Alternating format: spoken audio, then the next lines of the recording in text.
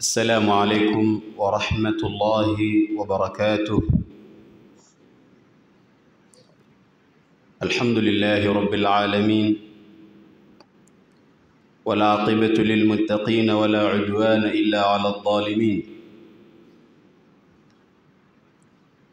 وأشهد أن لا إله إلا الله ولي الصالحين. وأشهد أن نبينا محمدا خاتم الأنبياء وإمام المرسلين.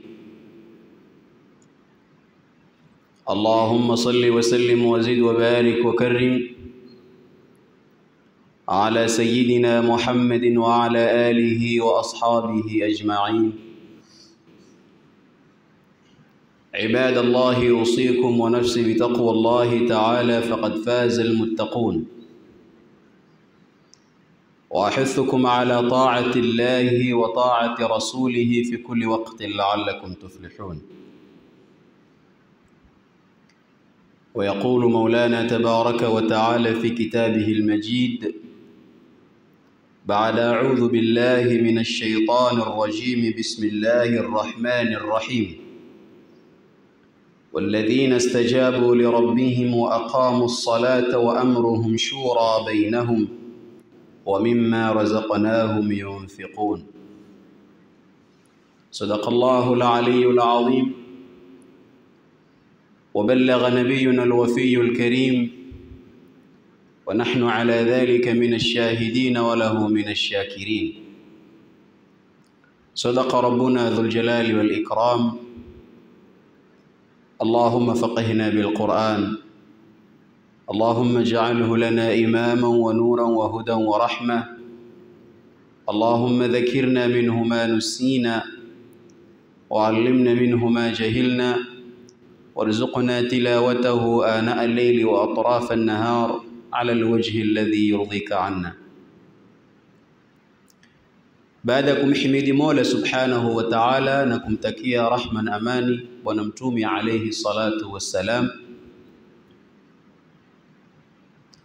La muhimu ni kumshukuru Mola Subhanahu wa Ta'ala ambaye katika siku kama hii hutujumuisha katika sehemu tukufu kwa taufiki yake na kwa uweza wake tukaweza kuja kutekeleza ibada miongoni mwa ibada ambazo Mola Subhanahu wa Ta'ala ametuamrisha kuzitekeleza.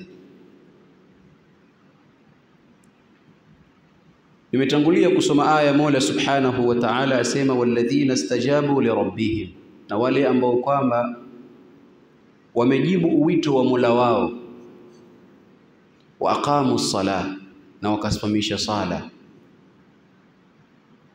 wa amruhum shura bainahum, na mambo yao yakawa ni ushauri kati yao, wa mimma razaqnahum yunfiqun, na kutokamana kile ambacho kwamba tumewaruzuku wakapeana wakatoa. Aya hii ndugu zangu, ina ishara nyingi sana ndani yake na ina faida nyingi sana. Kila kipande ni maudhui kamil. Walladhina stajabu lirabbihim, ni maudhui kamil, kumjibu Mola subhanahu wa ta'ala uwito wake namna gani, taka maelezo. Wa aqamu sala, na wakasomesha sala tukija katika iqamatu sala, sala inavyosimamishwa na yote ambayo kwamba yafungamana na sala. Wa amruhum shura bainahum, na jambo lao likawa ni ushauri kati yao, pia nao ni maudhui kamil. Wa mimma razaqnahum yunfiqun, na kile ambacho kwamba tumewaruzuku wao wakawa wanapeana. Aya hii ni ndugu zangu, kwa yaliyofungamana ndani ya hii aya mengi lakini kwa muda huu ambao kwamba tuko nao ndugu zangu, tutaka tuzungumze machache katika mengi ambayo kwamba yatafungamana ni watu aina gani ambao kwamba hufai wewe kwenda kuwataka ushauri. Haya ndo maudhui ambayo kwamba ningependa tukumbushane katika hotuba yetu ya leo. Nini ushauri ndugu zangu? Wenye kusema wasema mabdaun qararahu lislamu mundu qurun, ni mwanzo ambao kwamba umethubutishwa na Uislamu tangu karne za nyuma, tangu karne na karne kupita, Uislamu umelithubutisha jambo la ushauri kwamba lipo, ni jambo ambalo kwamba lipo kati ya jamii, lipo kati ya binadamu, kwa sababu tumetofautishwa binadamu sisi na viumbe wengine kwa kuwekwa na akili na ufahamu na maarifa na hekima na kupanga mambo. Hii ndiyo tofauti kubwa ambayo kwamba yapatikaniwa kati ya kiumbe mwanadamu na viumbe wenginevyo wasiokuwa binadamu. Ama almushawara, ama tukisema neno ushauri, ijtimaun ala amrin, ni watu kukusanyikana mahali pamoja juu ya jambo, liyastashira kullu wahidin minhum au liyastashira kullu wahidin al-akhar. Jumuiko lile ambalo kwamba watu watalikusanyikia kwa ajili ya jambo ni watu kuja, kila mmoja atoe ushauri wake kumshauri mwingine katika kile kikao, lilkhuruji biafdal al-ara, ili kuje kupatikaniwe natija ya rai bora zaidi kuliko nyingine, sawaun kanat khassa au amma, sawasawa uwe ni ushauri ambao kwamba utakuwa mhusu mtu binafsi peke yake au uwe ni ushauri utakopitishwa unaohusu jumuiko zima kwa jumla. Lakini ushauri ni mkusanyiko, watu kukusanyikana mahali kuhusiana na jambo ambalo kwamba jambo lile kila mmoja atatakiwa aseme kuhusiana na lile jambo. Lengo kuu kupatikaniwe usemi mtukufu zaidi kuliko semi zote zitakazotoka, ili ule usemi mtukufu ndio uwe utatumika ima iwe ni kwa mtu binafsi kwa mambo yake ambayo kwamba atakuwa ameyataka kushauriwa, au ni kwa jambo ambalo kwamba lahusiana kundi kubwa, jamii yote kwa jumla, kupatikaniwe rai mzuri na semi mzuri kuliko zote zitakazokuwa katika semi pale. Huo ndiyo maana ya neno almushawara au ushauri. Na Mtume alayhi salatu wassalam katika hili akasema, ad-dinu an-nasiha, dini ni kunasihiana, dini ni kushauriana. Hii dini yenyewe pia yataka ushauri, dini yenyewe pia yataka nasaha.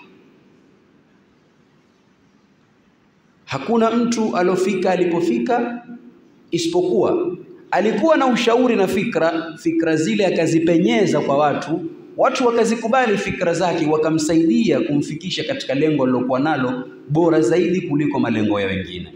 Si kwamba alifika peke yake, lakini alifika kwa ushauri wa watu, kwa fikra za watu, mawazo ya watu, kumtengezea lile ambalo kwamba amelileta lilokuwa ni bora zaidi kuliko mengineo, kumfikisha mahali ambapo kwamba alikuwa yeye ataka watu kuwafikisha.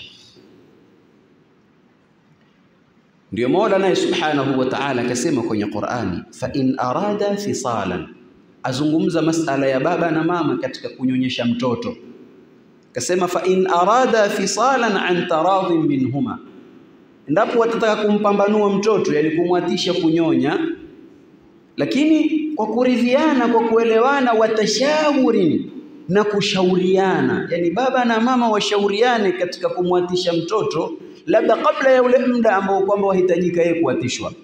Wakitaka wao katika hilo, fala junaha alaihima, hawana kosa, hawana makosa Manake ikiwa ni jambo watalipitisha kwa kuridhiana, na ikiwa ni jambo watalipitisha kwa kushauriana. Taona ndoa zahitaji ya ushauri, jamii yataka ushauri, kazi yataka ushauri, kila mahali kwahitajika ushauri ili kumfikisha mtu katika lengo lilokuwa bora zaidi. Bali Mola Subhanahu wa Ta'ala alimwambia Bwana Mtume sallallahu alayhi wa alihi wasallam washawirhum fil amr, Muhammad washauri katika mambo. Mtume sallallahu alayhi wasallam ndiyo mawa nubuwa, mahali panaposhuka utumi, mahali panaposhuka wahi, mawa alwahi, yeye ndiyo mahali panaposhuka ule wahi. Lakini pamoja na kwamba Jibrili yomshukia kuja kumletea mambo kutoka kwa Mola subhanahu wa ta'ala, Mwenyezi Mungu humfungua kifua chake na akamtambuza ambayo kwamba hayajatambuliwa. Pia Mwenyezi Mungu amwambia washawirhum fil amr, usitosheke tu na kwamba Jibrili wakujilia, asitosheke tu mtume na kwamba yeye ni mtume, lakini pia awe na nafasi ya kuziheshimu fikra za wengine. Na utaona mtume alayhi salatu wassalam alifanyia kazi la kuwashauri masahaba zake, akikaa alikuwa akiwashauri. Ilipokuja khabarul ifk na na Aisha radhiallahu ta'ala anha wardaha alikuja akasingiziwa machafu. Kama sura ambavyo kwamba mwingine aweza kusingiziwa lolote. Akaja akasingiziwa mke wa mtume alayhi salatu wassalam. Nana tahira lakini akasingiziwa machafu. Mtume katika hali hii ikawa hajui afanye nini. Wahi haujamteremkia kumbainishia kwamba kilichosemwa ni cha sawa au si cha sawa. Alianza kutafuta ushauri kwa masahaba zake akaenda kwa yule muuliza jambo kadha mpaka akawa yuwa ushauri mpaka wakewenza wasemaje kuhusu habari ya na Aisha? Wasemaje kuhusu jambo fulani? Wasemaje kuhusu hili? Mpaka zilipokuja kushuka aya kuja kumtakasa na Aisha lakini alikuwa mtume lile jambo ashalishauri kwa masahaba zake. Mtumi alipokwenda zake sulhul hudaybiyah alipofika mahali katika ndoto kwamba ameota atakwenda kuingia maka atafanya umra. Alipofika mahali yotaka kwenda kufanya umra akazuiliwa. Kaambiwa aje mwakani. Alikaa pale fikra zikamwambia zile ibada nyingine zote azifanyie pale pale isiyokuwa tawafu. Kuchinja kunyoa na mengine mengine ayafanye pale. Akawaambia masahaba tufanyeni tuchinjeni tunyoeni. Masahaba ikawa hawataki wamwambia sisi tuko katika haki dini yetu ndio sawa. Kwa nini tuzuiwe? Nyumba ni nyumba ya baba yetu Ibrahim. Kwa nini tuzuiwe? Sisi na maka sisi na Kaaba kwa nini tuwekewe vikwazo? Tofauti tuingie. Mtume sallallahu alayhi wasallam alipoona mambo yamemzonga masahaba hawataki kutekeleza anachokisema aliingia katika hema la Ummu Salama. Akafika akamweleza Ummu Salama kuna kadhia kadha na kadha na kadha. Nimewaambia masahaba kwamba wachinje wanyoe lakini wamekataa. Umu Salama akamshauri mtume akamwambia toka anza wewe kuchinja anza wewe kunyoa. Wakishakuona wewe wafanya bila shaka nao pia hawataweza kukaidi. Mtume alayhi salatu wassalam akatoka akifuata ushauri wa mke wake. Akatoka mbele ya masahaba akaita mchinjaji akachinja ngamia wake. Akaita mnyoaji akaanza kumnyoa tuambiwa katika hadithi kwamba masahaba walipoona hali ile wakaanza nao kuchinja kwa hasira mpaka wakaribia kuuana. Sababu wamekasirika kwa nini tulikuwa tofauti twende maka sisi? Lakini leo tunko tufanya hapa hapa tumezuiwa. Wakatekeleza amri ya mtume alayhi salatu wassalam pamoja na hasira. Lakini baada ya mtume kupata ushauri kutoka kwa mke wake. Kwa hiyo amruhum shura bainahum jambo lao ni ushauri kati yao shawirhum fil amr. Shauriana nao katika mambo. Huu ndio mwongozo wa Uislamu ndugu zangu waislamu. Kwamba Uislamu watuongoza sisi tuwe twashauriana kati yetu. Shauri usiamini kichwa chako peke yako. Usiamini fikra zako peke yako lakini kaa kuwa na ushauri. Bali Qur'ani imekuja kuwasifu waumini ikiwasema kwamba ni watu wanaosimamisha swala ni watu wanaotoa zaka ni watu ambao kwamba mambo yao wanakuja kushauriana kati yao. Lakini sasa ndugu zangu yawaje mtu yoshauri kisha yafikia mahali mambo yale yale yaliyoyashauri yaharibika? Una jambo limekuzonga ukaona ah wacha nende zangu kwa ule imam pale. Ah wacha nende kwa mtu fulani. Wacha nende kwa sahiba yangu fulani. Ukafika ukamweleza kutoka alifu mpaka ya ukamweleza from A to Z kwamba kuna kadhia hili na hili na hili na hili naomba ushauri wako. Akakushauri baada ya kutekeleza ule ushauri aliokupa rafiki yako ndio ukazidi kuangamia katika lile jambo ambalo kwamba amekushauri. Waya waje ndugu zangu? Nimeshauri kweli na nimeshauri mtu ambaye namwamini mimi almustasharu mu'taman. Mwenye kushauriwa siku zote ameaminiwa ame, amepewa ni amana ile ni siri mtu anapokushauri jambo amekupa siri zake za ndani. Si mpaka akwambie usiseme. Hapana ile kwamba amekaa katika salatul jumaa akaswali akamaliza kisha akakushika mkono akakuvuta kando peke yako. Hii ni alama ni karina. Chajulisha kwamba haya ninayokwambia sikutaka watu wayajue. Ndio maana mmekuvuta kando huku na kadhia kadha na kadha na kadha. Unape ushauri. Wewe ukatoka ukawaambia watu eh yule ana hili na hili. La angetaka angeshika mikrofoni akasema jamani na kadhia kadhaa kadhaa na kadhaa msemaje lakini amekuona wewe ni hakimu una akili. Acha nikuweke kando nikueleze unipe ushauri. Huwa yawaje ndugu zangu mpaka yafikia mahali? Mambo umeyashauriana, mambo umeomba nasaha, kisha mambo yale yakienda segemnege kwa lugha za leo, mambo yale yakaharibika, huwa imekuwaje?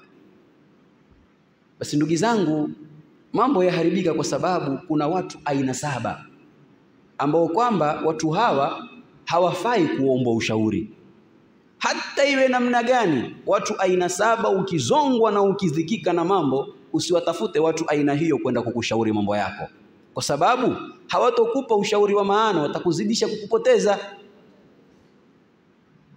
Uislamu watuongoza tushauriane, dini yataka tushauriane, Mtume ametuhimiza tushauriane, lakini kuwa makini wakati uenda kumwambia jambo lako mtu ili akushauri. Watu aina saba waepuke sana katika kushauri Mtu sampuli ya kwanza ambaye kwamba wafaa umwepuke na umkalie mbali katika kushauriana na mambo yako, jahilun, mtu mjinga. Mtu mjinga muepuke, usimuombe ushauri wa mambo yako, sababu ni mjinga, hana ujuzi. Watakufungua kampuni ya maji, tafuta wajuzi wa kampuni za maji. Wataka kufungua kampuni ya jambo, tafuta watu wenye ujuzi na lile ndo uwashauri. Usitafute mtu mjinga ambaye kwamba hana ilmu yale ambalo kwamba walitaka kushauri. Leo mambo mangapi yaharibika? Vijana waharibu ndoa zao kwa sababu ushauri wa ndoa zao ndani ya majumba yao waupeleka maskani kwa vijana ambao kwamba hawajaoa wala habari za kuoa hawana, ndio watu kwa ushauri wa ndoa. Jamani, jana mke wangu amenifanyia hivi, amenifanyia hivi. Ah, usikubali bwana, mwanamume wewe, kwani uchezewe? Wakubali na wewe. Yule bwana mmoja alifuata mtu ambaye mke wangu mimi hunimwambia nifue, mara huniambia hivi, nasema usikubali, usikubali. Mwanamume afui bwana, mwanamume zipiga pasi, hizo ni kazi za mke bwana, mwache bwana. Akakaa baada ya siku mbili na kipande, akampa talaka mkewe. Akakaa baada ya muda, akifika kwa ule rafiki yake, kigonga mlango, ametoka anachicha kwenye mkono, atoka kukufa mwanazi chicha. Mwambie, ah, rafiki yangu, si unaambia watu wanaume wafanye hizi kazi? Ah, mambo ya ndani haya sasa yeye yale ambayo kwamba mwambia mwenzake usifanye, haya ni mambo ya kike, yeye mwenyewe yuwafanya kwake. Sasa mara nyingine waomba mtu ushauri, lakini hakupi lile ambalo kwamba yeye walifanya, anakupa kingine kinyume. Mimi nafanya hivi natengezekewa, lakini wewe sikupi hili, nakupa kinyume chake, ukaharibikiwe. Sasa jaribu sana, wakati wa mshauri mtu mambo, uhakikishe ni mtu ana ujuzi wa hilo jambo. Mambo yataka ilmu, tafuta mwenye ilmu akuambie. Mambo yataka akili ya hesabu, tafuta mtu mjuzi wa hesabu akuelekeze. Watafuta mahali kunua viwanja, tafuta mtu mjuzi wa viwanja akuelekeze. Waweza kununua kiwanja, kumbe kimenunuliwa mara tatu, weka ununua mara nne. Akatoka wa kwanza mwenye haki zaidi, nyinyi watatu huku hamna haki, huyu ndo mwenye haki. zikiangalia karatasi, karatasi yake iko chini, yeye ndo yomba haki yake kile kiwanja akifika sema stakabadhi, mimi nimenunua moja kwa moja kwa mwenye kiwanja. Nyinyi mmekuja kununua wapi? Kumbe ni broker wale wa katikati, akitafutwa haonekani. Sasa mara nyingine tuharibu kwa sababu wale ambao kwamba tutaka watufikishe katika malengo yetu hawana ujuzi wa kutufikisha pale tutakapo sisi kufika. Qila, kumesemwa ya kwamba yafalu ljahilu binafsihi, mjinga hujifanyia mambo yeye mwenyewe, ma la yafalu laduu biaduwihi mambo ambayo kwamba hata adui hawezi mfanyia adui yake, mjinga aweza akayafanya, kwa sababu hana ujuzi wa mambo. Hata adui hawezi kumfanyia adui wake kitu hicho, lakini mjinga aweza akakifanya kitu kwa sababu ya ujinga aliokuwa nao. Na ujinga, ndugu zangu, ni maradhi makubwa sana, na hakuna hospitali utakwenda uambiwe wewe una ujinga kiasi fulani, wafaa umeze dawa hii na hii na hii, ujinga ukuondoke. Hapana. Ndio tuona Jaafar alipokwenda zake Habasha kwa mfalme wa Habasha, alipofika Ethiopia, katika miongoni mwa mambo aliyoyaeleza, alimwambia mfalme wa Habasha, kunna qauman ahla jahiliya, sisi tulikuwa watu wajinga huko zama za ujinga, nakulu lmaita, tulikuwa tukila mfu sisi, nusiu ljiwar, tulikuwa hatukae vizuri na majirani sisi, naqta'u larham, tulikuwa tukikata uzao sisi. Yakulu dhaifu minna alqawi, yakulu alqawiyu minna dhaif, ilikuwa mwenye nguvu yamla mnyonge. Hatta ba'atha Allahu ilaina rasula, mpaka Mwenyezi Mungu alipotuletea mtumi. Naarifu nasabahu, naarifu hasabahu, twamjua mtume huyo. Fadaana ila llahi linuwahidahu wa na'budahu, wa nakhla'u ma kunna na'buduhu min al-ahjari wal khashab. Huyu ni mtume alikuja akatutoa kwenye ujinga. Sasa ujinga, ndugu zangu, ni maradhi makubwa, na tiba yake ni mtu kusoma. Soma kwanza, wataka mambo fulani, yasomee yale mambo. Wataka kitu fulani, kisomee kile kitu, kijue, ndio utaweza kuendana na mambo ambayo kwamba wayataka. Mwenye kusema akasema, arrijalu arbaa, watu ni sampuli nne katika haya maisha yote tunayoishi ulimwenguni, kutoka mwanzo mpaka mwisho wa ulimwengu, watu ni sampuli nne peke yake. Asema kuna rajulun yadri wa yadri annahu yadri, kuna mtu yuwajua na yuwajua kwamba yuwajua. Tuambiwa fadhaka alimun fattabi'uhu, huyo ni mjuzi, huyo ni mwanachuoni, mfuateni. Huu ni mtu sampuli ya kwanza. Asema kuna rajulun yadri wala yadri annahu yadri, kuna mtu mwingine yeye yuwajua lakini hajui kwamba yuwajua. Huu ni mtu sampuli ya pili, anayo ilmu lakini hajiamini. Tuambiwa fadhaka nasi, huyu amesahau tu. Fantabihuhu, mzindusheni, mwamsheni, mwambie hey, hey, baba, wajua wewe, nenda kafanye kitu fulani, na akifanya yuwafanya kweli. Huu ni mtu sampuli ya pili. Mtu sampuli ya tatu, tuambiwa kuna rajulun la yadri, kuna mtu hajui, wa yadri annahu la yadri, lakini yuwajua kwamba hajui.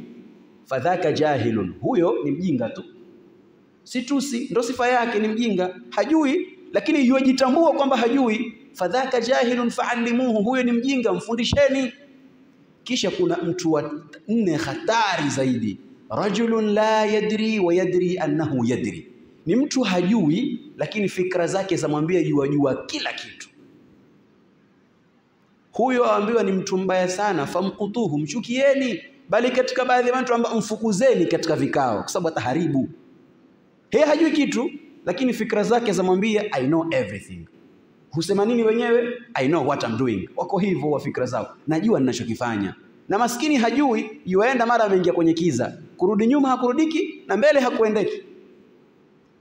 Sasa ndugu yangu Muislamu, katika miongoni mwa watu ambao kwamba hufai kuwashauri mambo yako ni mtu mjinga, muepuke sana. Hakikisha kwamba jambo lako ambalo kwamba atakumshauri jambo gani jambo la kuhusu ilmu, tafuta mjuzi mwenye nalo hiyo ilmu hiyo unayoitaka, ili akuashirie mambo ambayo kwamba yoyajua.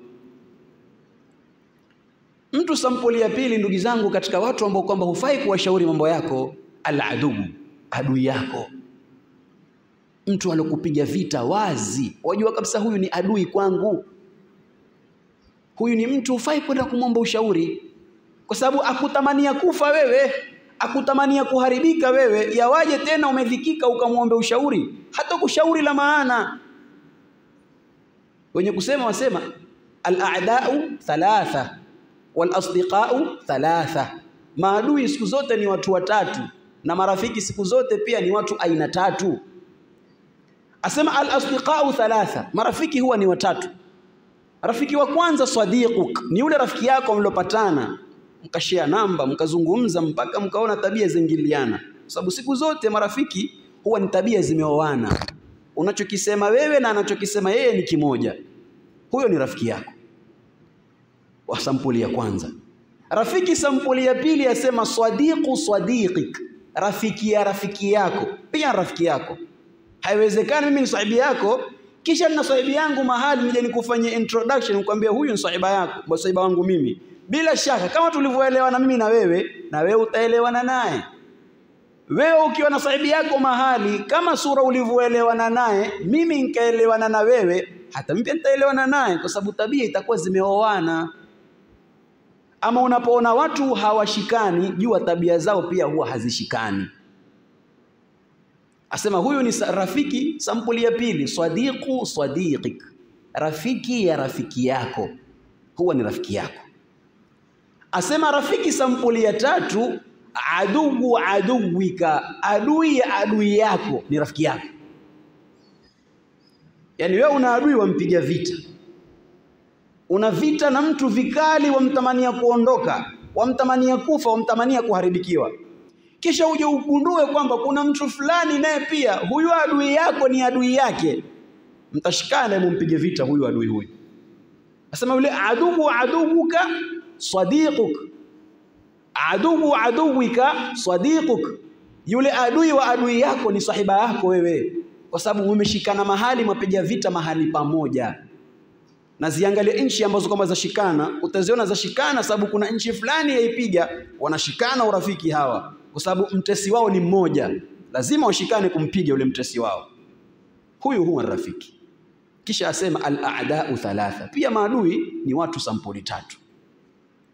Aduguka, kwanza kabisa adui yako amekupiga vita wazi, amekuonesha utesi, huyu ni adui yako, sampuli ya kwanza.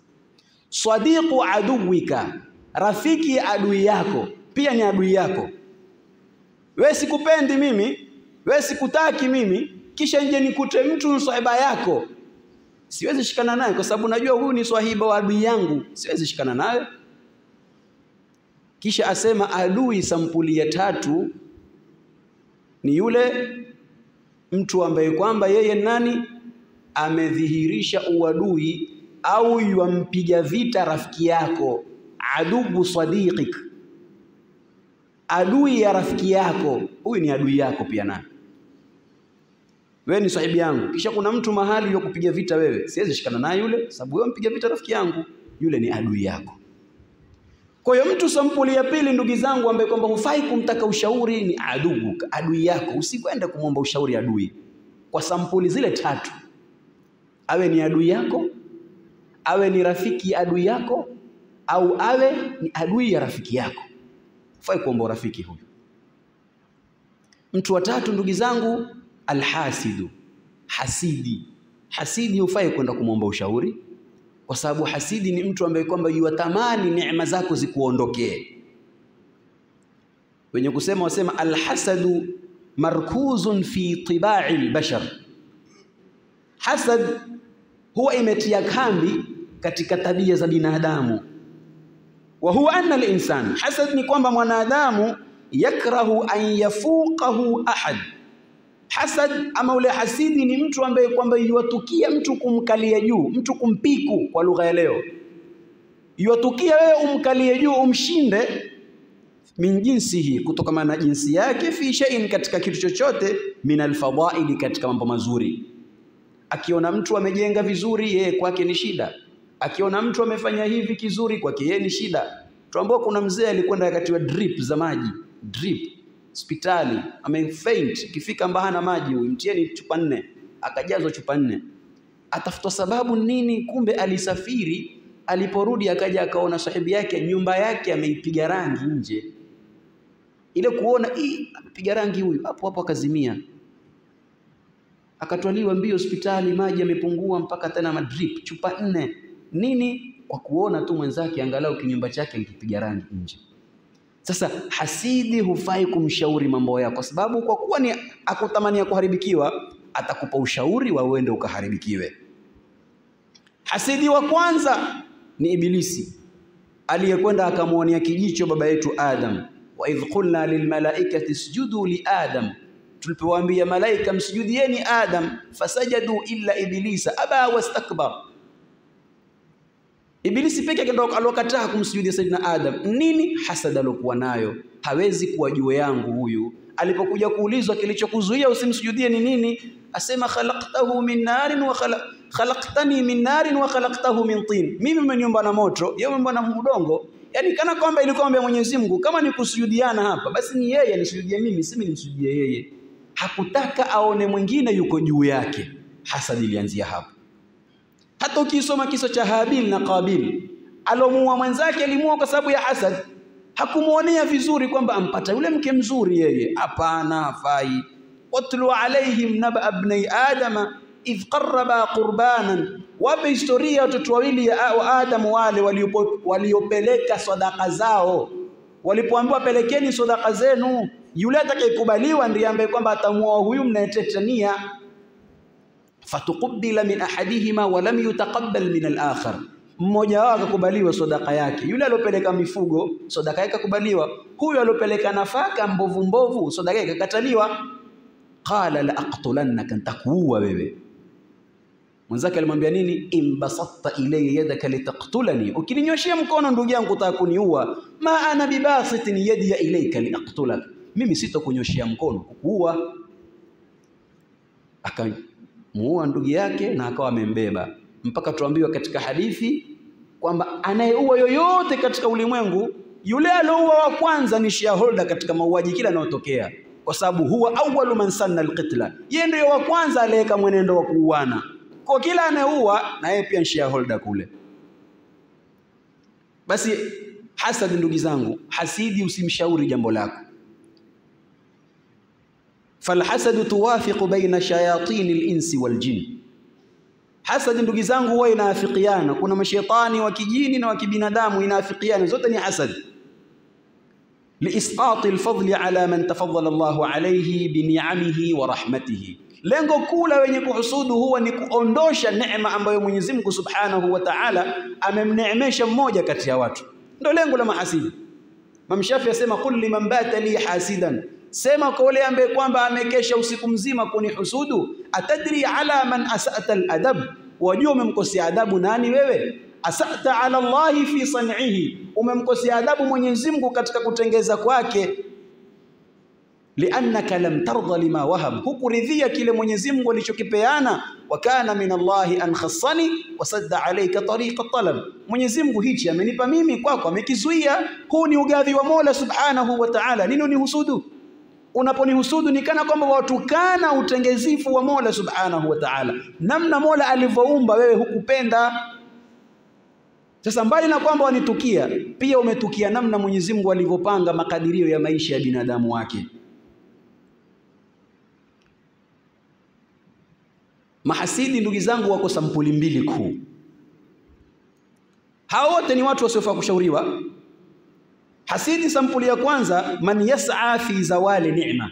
Kuna mtu hasidi yako ambaye kwamba yuko mbioni kukuondoshea neema zako, bilbaghi alayhi, kwa fitna, kwa dhulma, bilqauli walfi'li, kwa maneno, kwa vitendo. Atakutilia fitna pale, atasema hili, atafanya lile, ili kukuharibia, kuondosha neema ulizokuwa nazo. Wayas'a fi naqli dhalika fi nafsihi na huyu mara nyingine hutaka pia kile ulichokuwa nacho wewe kikuondokee, kimjilie yeye. Yaani, kuna watu katika maisha, akiona mtu kitu kizuri anacho huonekana kwamba yule hastahiki kukipata, anayestahiki ni yeye, si wewe. Akikuona umvaa vizuri, sema hapana, ile kanzu hufai kuvaa, nafaa mvae mimi. Akikuona wazungumza vizuri, sema hapana, afai kuwa mfasaha yule, fasaha nafaa niwe nao mimi. Akikuona umejenga mahali, hapana, ile nyumba hafai kujenga vile, mimi ndo nafaa nijenge nyumba kama ile. Sasa hawa ni sampuli moja kati ya mahasidi, wako mbioni kukuharibia ulicho nacho na wako mbioni kile ulicho nacho wakipate wao. Hawa ni mahasidi au hasidi sampuli ya kwanza. Sampuli nyingine ya mahasidi ni man yas'a fi izalatihi faqat.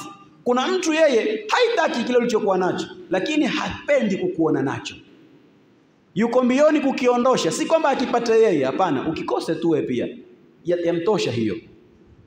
Min ghairi naqlihi fi nafsihi, bila kutaka kwamba kimfikie yeye. Na wa huwa sharruha wa akhbathuha, na hii ndiyo hasad mbaya zaidi na hasad chafu zaidi.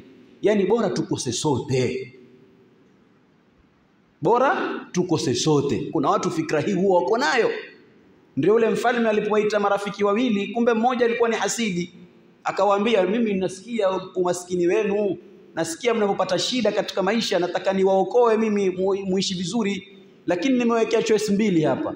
Mmoja ndio atakayetagua cha kufanyiwa, wa pili atapata mara mbili ya kwanza atakachopewa. Nyinyi maskini hamna kitu, mwakimbia kila siku katika maisha, hamja ukata kwa lugha za leo. Mfalme amewaita awaambia, mimi nitaka niwape nyinyi mu, muishi vizuri, lakini mmoja ndio atakayesema atakacho, wa pili atapewa mara mbili ya yule wa kwanza atakachokisema. Ndio bwana akafikiria, nikisema nyumba mbili, huyu mwenzangu nyumba nne, milioni mbili, huyu milioni nne. Akafikiria, akapiga mahesabu, nifanyeje? Wakatoka nje, wakashauriana, akaingia yule mwenye, yule has, mwenye, mwenye, mwenye hasad akaingia kwa mfalme, akamwambia mfalme, mimi bwana, nitakuntoa jicho moja toa jicho moja. Ehe, alafu yule simawili itakuwa hana kabisa, angalau mimi nitakuwa naona na moja. Sasa hizi ndizo fikra na mawazo ya wenye kuhusudu, wao wako hivi, yuko tayari aharibikiwe, lakini tukose sote. Si kwamba hati upate wewe, hapana, wewe ukose, mimi pia sikipasi, sikitaki. Qala sallallahu alaihi wasallam, Mtume asema katika hadithi, la yajtamiani fi qalbi abdin havikusanyikani katika moyo wa mtu al-iman wal hasad. Iman na hasad hazikae mahali pamoja. Kama huna iman, lazima utakuwa una hasad. Kama huna hasad, ni uwe na iman. Hasidi hana iman na mwenye iman hana hasad.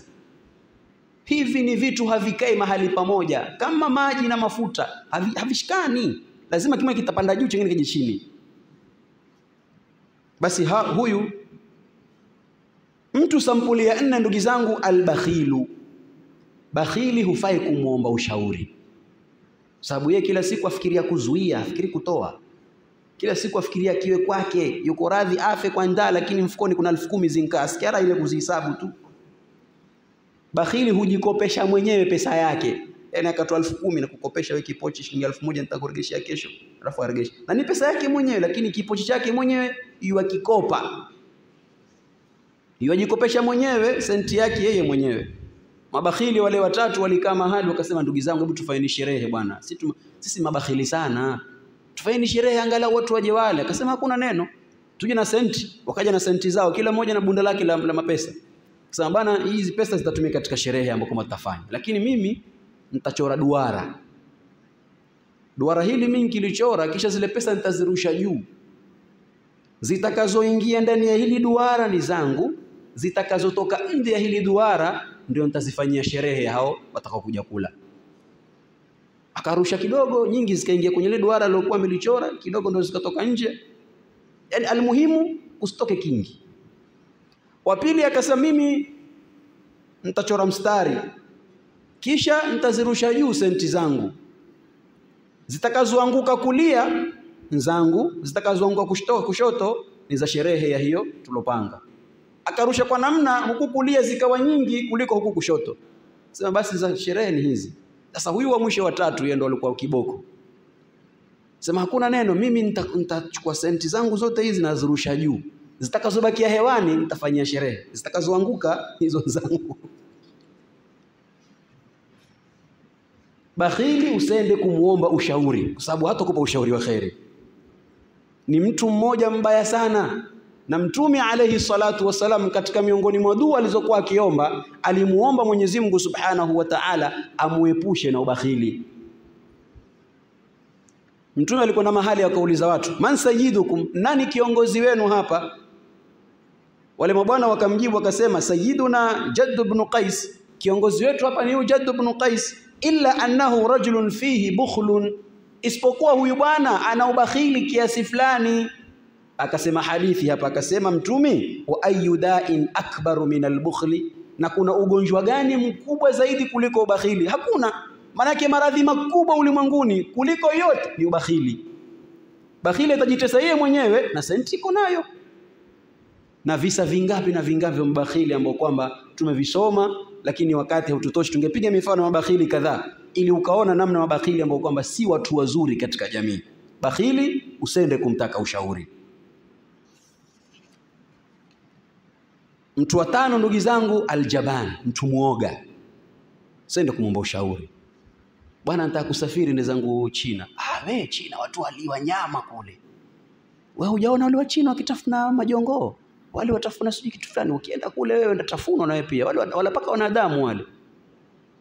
Basi nataka ndi Arabuni. Ah, Arabuni wewe hujasikia kwamba kule watu warushwa kwenye magorofa? Yaani yeye kila mahali ametiatia uoga uoga hivi, ametia uoga.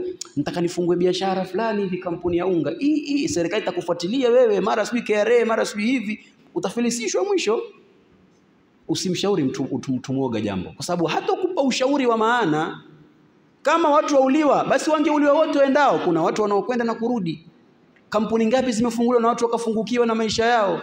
Leo enda kutafuta ushauri kwa mtu ambaye njioga hatokupa ushauri ela atakutia uoga katika jambo litakalo. Mtu wa sita, ndugu zangu, sahibul hawa, mtu mwenye kufuata matamanio ya nafsi yake. Huu ni mtu usimshauri, kwa sababu kile kilichokuwa katika nafsi yake ndicho akionacho chafaa kwa mwenzake, hiyo akikataa. Araaita man ittakhadha ilahahu hawahu, umemuona yule ambaye kwamba amemfanya mola wake ni yale matamanio ya nafsi yake kile akitamanicho yeye ndicho ambacho kwamba yuakifuata. Mtu kama huyo usimfuate wala usimwombe ushauri. Qur'ani yatuambia wa amma man khafa maqama rabbi, na ule ambaye kwamba ataogopa kusimama mbele ya Mola wake wanaha nafsa anil hawa, na akaizuia na akaikataza nafsi yake na matamanio yake. Qur'ani yasema fa innal jannata hiya almawa, mtu huyo mashukio yake ni pepo, sababu ameizuia nafsi yake na matamanio yake. Sio kwamba kila unalolifikiria wewe ndiyo lafaa. Hapana, kuna ambayo kwamba wayafikiria wewe lakini yakawa hayana manufaa. Lazima ukubali kwamba ukishauriwa lako uliokuwa umelifikiria, mwenzako akwambia lingine, inawezekana lile lingine lina manufaa zaidi kwako hata kuliko lile uliokuwa nalo katika nafsi yako. Maisha ni yako, lakini unayoyawaza labda hayana manufaa kwako. Si lazima ufanye wewe, muhimu ni jambo lifanyike. Kuna watu wanafikira kwamba mimi lazima nifanye mimi, hana ile kwamba jambo likifanyika biha wa neema. Aliyeota adhana ni mtu mwingine, aliyepewa kuadhini ni mtu mwingine. Bilal ibn Rabah hakuiota adhana, lakini aliambiwa nini? Huyu ana sauti nzuri kualiko nyinyi mloota, mwatinie adhini. Sasa lau wale wangekuwa na ile itibaul hawa, kufuata matamanio ya nafsi zao, wangesema Rasulullah, bana tumeota sisi alafu wampa huyu. Pana, Mtume eka kila kitu mahala pake. Wewe umeota ni sawa, ndoto ya kweli, ndoto ya haki, lakini sauti zenu na huyu huyu ana sauti mzuri, mpeni huyu adhini, itanoga zaidi adhana kwake. Sahibul hawa hufai kwenda kumtaka ushauri. Qala Abu Qalaba, mmoja katika wanazuoni Abu Qalaba asema, la tujalisu ashaba alahwa, musikae na watu wenye matamanio ya nafsi zao, sikae nao. Mwanachuoni huyu si mimi fa inni la amunu an yaghmisukum fi dhalalatihim, mimi siamini, yani sina amani, itafikia mahali watawadidimiza katika upotevu wao, au yalbisu alaikum ba'dha ma ta'rifun, au watakuja kuwadangamaniza, watakuja kuwachanganya na mambo muyajuayo. Hadithi waijua ni hii na maana yake ni hii. Yeye kwa kuwa matamanio ya nafsi yake hataki mfumo huo, atakupa mfumo au utakao yeye, aje akuchanganye na yale ambayo kwamba ulikuwa wayajua. Sahibul hawa, mwenye matamanio, ni mmoja kati ya watu ambao kwamba hawafai kwenda kutapa ushauri. Mtu wa mwisho, ndugu zangu, almurai, mtu mwenye kujionesha. Yani ye bwana, nimekuja naomba hivi na hivi na hivi, aweza kupa ushauri mzuri, bwana, pitia hapa, pitia hapa, pitia hapa, lakini baada muda ukishafanikiwa tu yakana watu, muone yule bwana, lau si mimi asingefika pale bwana. Sisi bwana ndio wenye ushauri bwana, ukitaka ushauri njoo kwangu bwana. Umeona yule? Ah, mtu fulani namshauri mimi ndo akafikia pale. Mtu mwingine yule namshauri mimi nikafikia pale. Nilimwambia asioe siku ya Ijumaa, ona akawa Jumamosi, shughuli ikawa mzuri. Mimi ndio nilimshauri vile. Almurai, mtu mwenye kupenda kuonekana, sikwenda kumshauri mambo, kwa sababu atakupa hata kama ni ushauri mzuri, kisha baadaye ataanza kujisifu kwa watu kwamba lau si yeye wewe usingefika mahali ulipo. Fawailun lilmusallin alladhina hum an salatihim sahun, swala wamezisahau, swala wanazionesha. Yani afanya ibada kwa watu wamuone, afanya ibada watu wamsifu, afanya jambo watu wamsifu, afanya jambo watu wamuone. Huu ni mtu hatari sana katika jamii, kwa sababu kwa Mwenyezi Mungu ana thawabu. Atakwenda amefanya mengi, lakini Mwenyezi Mungu atamwambia nini? Idhhabu ila alladhina kuntum turauna, nendeni kwa wale waliokuwa mkiwaonesha mambo yenu, hamkufanya kwa ajili yangu ulitoa kweli, lakini ilikuwa watoa ili watu waseme innahu jawad, yule anacho amepeana. Umesoma Qur'ani kweli, lakini ulikuwa unataka watu wakusifu waseme innahu qari, ni msomaji mzuri. Ulipigana vita, lakini ulikuwa utakwambia innahu shujaa, yule ni shujaa. Kwa hiyo hukupigana kwa ajili yangu, hukufanya kwa ajili yangu, hukutoa kwa ajili yangu. Nendeni kwa wale mliokuwa mkiwaonesha, fandhuru hal tajiduna minhum jazaa, mwende mkaangalie kwa mtapata malipo kwa wale mliokuwa mkiwaonesha matendo yenu. Basi ndugu zangu, Uislamu umetusukuma sisi na umetuhimiza sisi kushauriana kati yetu mambo yetu, lakini siku unapoona kwamba umeshauriana jambo na jambo halikufanikiwa, jua kwamba umeshauriana mmoja kati ya hawa watu saba. Ili ufanikiwe, jiepushe na watu aina saba katika kushauriana mambo yako. اللهم آت نفوسنا تقواها وزكي أنت خير من زكاها أنت ولي مولاها وأنت ناصرها على من عداها. اللهم الحق حق وارزقنا اتباعه وأرنا الباطل باطلا وارزقنا اجتنابه. اللهم ألف بين قلوبنا وأصلح ذات بيننا واهدنا سبل السلام وأخرجنا من الظلمات إلى النور. وصل اللهم على خير خلق محمد وعلى آله وصحبه وسلم. والحمد لله رب العالمين. والسلام عليكم والعفو منكم.